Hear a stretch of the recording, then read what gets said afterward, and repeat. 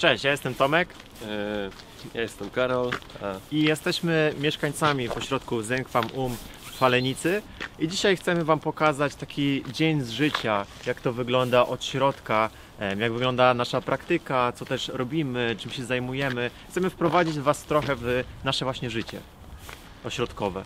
Jak wiecie, jak oglądacie nasze filmy, albo nawet jeśli jesteście pierwszy raz na naszym kanale, to od y, wielu lat są głównie tylko filmy dotyczące doktryny buddyjskiej, e, czy filmy na temat mowy darmy. I co jest super, ale też chcieliśmy Was zaprosić do takiej może trochę nowej serii, że będziemy nagrywać, e, nagrywać bardziej takie mm, luźniejsze, luźniejsze materiały właśnie z naszego życia, czy z tego jak wygląda ośrodek. E, więc dzisiaj to jest taki pierwszy film na Pilotażowy. pilotażowy. Chcemy Wam pokazać trochę e, kim jesteśmy, jak to tutaj wygląda. No, pomysł narodził się stąd, że na co dzień tutaj bardzo dużo się dzieje. Mamy wiele różnych wspólnych przemyśleń, wspólnego działania, ró- różne rozmowy też e, doprowadzają nas do tego punktu, że chcielibyśmy się tym podzielić, tym wszystkim. Więc e, no dzisiaj taki, taki jeden dzień i dajcie też znać w komentarzach, o czym byśmy mogli porozmawiać w kolejnych materiałach. Jakbyście też byli pierwszy raz w środku, to tak wygląda wejście do, do naszego ośrodka. E, a tam jest wejście na, na salę darmy. Ale zimą zamknięte. Tak, zimą jest zamknięte, więc dzisiaj zapraszamy Was na, na obiad. Jako, że mamy wtorek, to jest taka nasza tradycja, że we wtorek robimy wspólne obiady, więc zapraszamy, pokażemy Wam to od kuchni.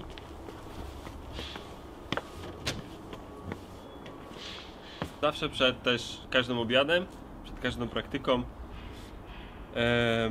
robimy moktak, tak zwany moktak, czyli zapraszamy po prostu wszystkie osoby z ośrodka na praktykę i na obiad.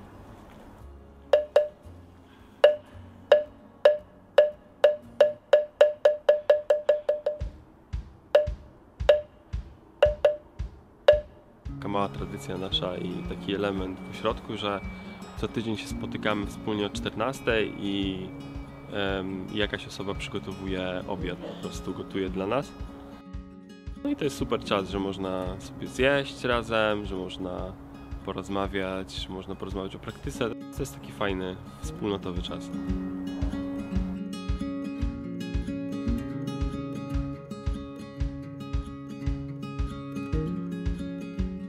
Rafał, Tak. co zrobiłeś dzisiaj na obiad?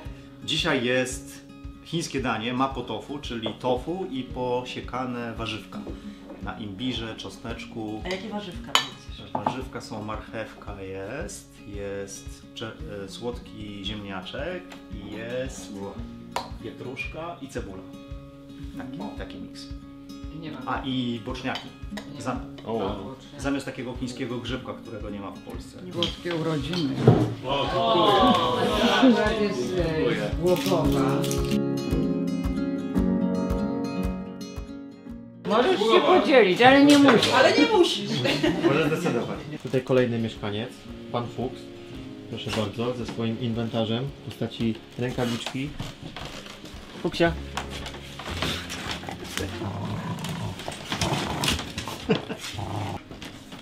Dobrze. A przyjmiesz go... Oj. Obowiązkowo musimy też pokazać naszego kota Zen, kot Gatę, nasz ośrodkowy pluszak. E, Czasami w ośrodku mamy też konsultacje poprzez Zooma, jutro będziemy nagrywać podcasta, więc połączyliśmy się z Asią Podgórską. Asia też pokiwaj do vloga. Cześć, cześć. bardzo. Więc czasami te spotkania mają charakter kontaktu na żywo, czasami charakter kontaktu online. Bywa to bardzo różnie. Też w tym filmie chcieliśmy Wam trochę przybliżyć i pokazać, czym jest e, trening mieszkańca. Trening Zen. W zasadzie taką podstawą i fundamentem mieszkania tutaj w ośrodku jest to, że no tutaj praktykujemy. I żeby zamieszkać w ośrodku medytacyjnym u nas, to trzeba praktykować i brać udział w treningu mieszkańca. Tak, i te praktyki odbywają się od poniedziałku do soboty. Mamy praktykę poranną, praktykę wieczorną. I tutaj są takie trzy podstawowe formy tej praktyki. Przede wszystkim rano mamy praktykę pokłonów, później mamy praktykę medytacji śpiewów. To, to, to jest myślę istotne, żeby powiedzieć, że to jest medytacja śpiewów, bo chodzi o to, żebyśmy cały czas utrzymywali tą uważność, niepodzielony umysł, żebyśmy byli e, w chwili obecnej. I później mamy rundę siedzenia zen, praktyka medytacji siedzonej. Każda forma w zasadzie, wszystko co tutaj staramy się robić, to jest ciągła praktyka. E, Czy to jest e, praktyka pokłonów, czy praktyka śpiewów, czy siedzona medytacja, czy rozmowy osobiste, a nawet wtorkowy obiad i sprzątanie po nim to jest e, ciągła taka praktyka. Tak, no właśnie, praktyka w wspólnocie, gdzie jest, y, gdzie żyje na co dzień 10-12 osób, zależnie też od obsadzenia pokoi, to też jest swoista forma rozwoju wewnętrznego, bo na bieżąco mamy kontakt z drugim człowiekiem i też możemy zobaczyć dokładnie swoje reakcje na zachowania innych osób i też możemy się sami o sobie czegoś bardzo mocno dowiedzieć. Więc takie przebywanie na co dzień w społeczności jest również bardzo duchowym i rozwijającym doświadczeniem. No, dokładnie. Nie zawsze łatwym. Nie zawsze łatwo. E, to, też, e, to też warto podkreślić, że to jest po prostu długi proces, dlatego to też- też się nazywa treningiem, a nie jakimś e, wydarzeniem, które może się wydarzyć podczas krótkiego odosobnienia czy podczas e, kilku dni. Więc e, to ma sens, kiedy to jest proces długotrwały, kiedy to jest trening, kiedy naprawdę możemy połączyć praktykę z życiem codziennym, też z funkcjonowaniem z innymi, z innymi osobami. Tak. No i mamy wiele form r- wspólnego działania, tak żeby na bieżąco się integrować. E, No dzisiaj pokaz- pokazaliśmy Wam właśnie wspólny obiad, ale mamy też wieczorki filmowe, czasami gramy też w planszówki, może to też pokażemy w kolejnych materiałach. Więc jest wiele różnych wspólnych form takiej integracji, no i właśnie wspólnego działania, bo to jest takim elementem przewodnim życia w ośrodku.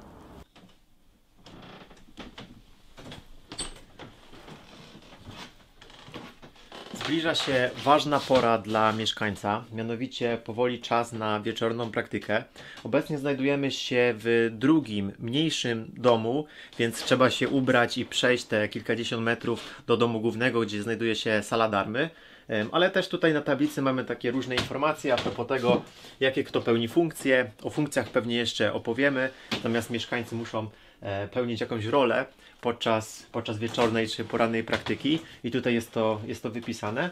E, No i co, powoli będziemy się zbierać i zobaczymy jak dzisiaj e, wypadnie praktyka, kto tam będzie. Zgarniamy po drodze mieszkańca Rafała. E, Rafał praktykował w nieco innej tradycji. Możesz coś, coś powiedzieć, jakie są takie fundamentalne różnice, jeżeli chodzi o praktykę w, w tradycji japońskiej, a, a koreańskiej? No to nie zdążymy, ale tak, w dwóch zdaniach, nie? Jakby, e, w, w Japonii są dwie szkoły, Rinzai i Soto i tam może jest trochę bardziej surowo jakby, bo nie ma ogrzewania w tych klasztorach, jest takie... Mm, no nie dba się to o tych mnichów jednak, nie? E, W Korei jest fajnie ogrzewanko i tak dalej. Natomiast różnice w praktyce są dosyć niewielkie chyba. To nadal chodzi o tą samą uważność, tą samą jakby stara się wypełnić ten dzień klasztorny, żeby cały czas jakieś zajęcie było, żeby ten umysł nie wędrował e, na boki, tylko skupiał się na, zawsze na tym zadaniu. Te zadania są zawsze bardzo proste, a to tam grabienie liści, rąbanie drewna, rozpalanie tam w piecu, przygotowanie, także proste życie. Dobra, no to co? Ubieramy się i lecimy. Ja zakładam kurtkę, Rafał idzie na żywioł. Widać, że przyzwyczajony do zimna z Japonii. Nasze schody pełnią funkcję również e, budzenia innych mieszkańców. W momencie, kiedy ktoś się porusza w górę lub w dół do toalety, to przy okazji gwarantuje pobudkę. To jest takie wspólne działanie, nie? Że jedna osoba idzie do toalety, to wszyscy wstają. Wszyscy idą. Wszyscy idą. Do przejścia mamy no, około 40 metrów, 50 może. Tutaj stałem, tutaj. Na praktykę! O proszę, właśnie. Mamy kolejną osobę, która tutaj mieszka. I to bardzo ważną osobę, nie powiem. Och, jaką ważną No, osobę! niezwykle ważną osobę. urosłam. Nasza pani Aniołowa. Aniołowa. Dba o nas. To ja. Pani Aniołowa czasami ma też oznakę. Odznakę. Oznakę czego? No, no taką respektu, nie? Można powiedzieć. Tak, to jest ta poduszka, to jest moja oznaka respektu teraz. Tak. Dzisiaj zakupiona poduszka, bardzo wygodna, z piękną poszewką. Brać. Właściwa Nie bardzo wiem, na Yamanjonjin, który się właśnie zaczyna Czyli niedługo, czyli w niedzielę, czyli odosobnienie, tak.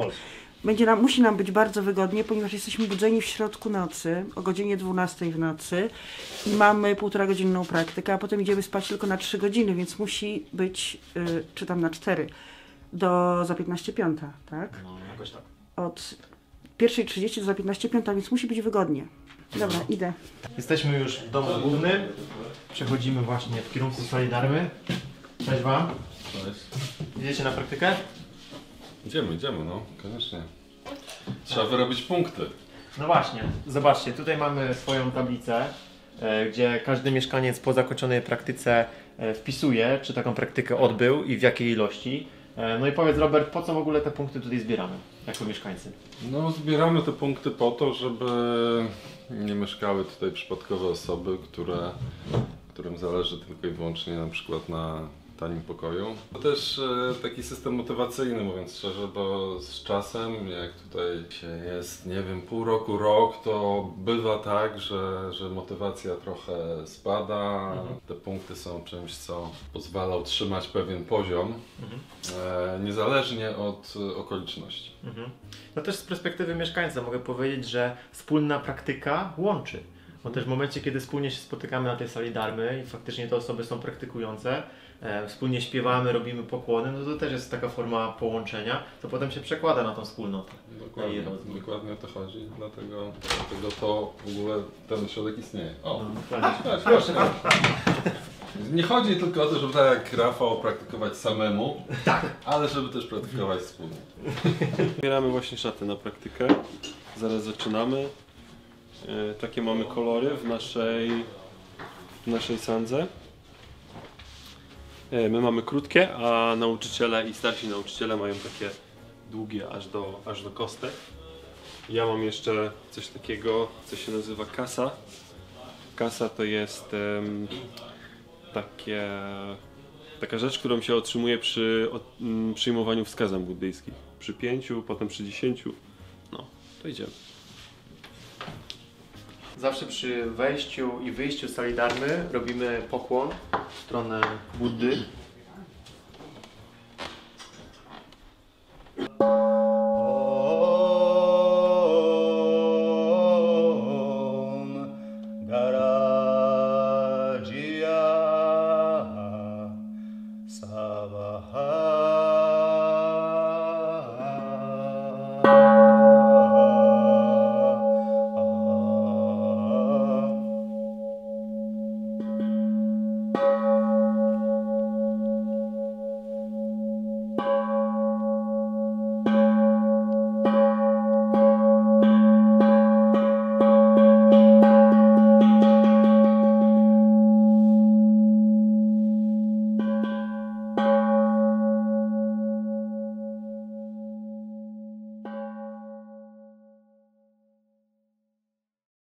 Bardzo dziękujemy za obejrzenie tego materiału. Mamy nadzieję, że się podobało i koniecznie dajcie znać w komentarzu, co byście chcieli zobaczyć w kolejnym odcinku z tej serii.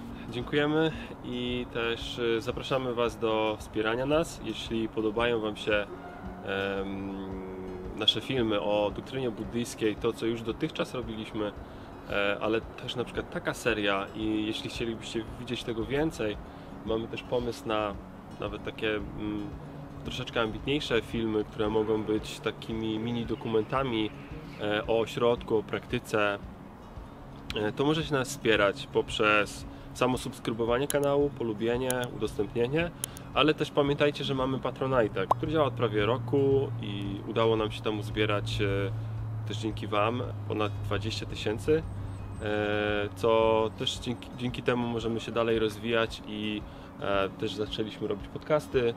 Mm, Także Wasze wsparcie jest dla nas tutaj bardzo, po prostu bardzo, bardzo pomocne. I dziękujemy za dotychczasową formę pomocy.